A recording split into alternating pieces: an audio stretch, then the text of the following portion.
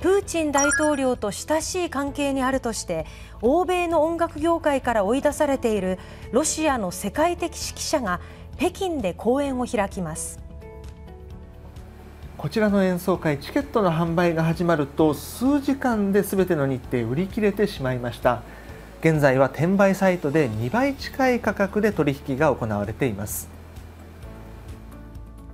ロシアの世界的な指揮者ワレリー・ゲルギエフ氏とマリインスキー劇場管弦楽団は27日から北京で3日間の公演を開きます。プーチン大統領の友人とされるゲルギエフ氏はロシアのウクライナ侵攻を黙認しているとしてドイツの有名オーケストラのポストを解任されたほか欧米の主要なホールでも降板を求める動きが相次いでいます。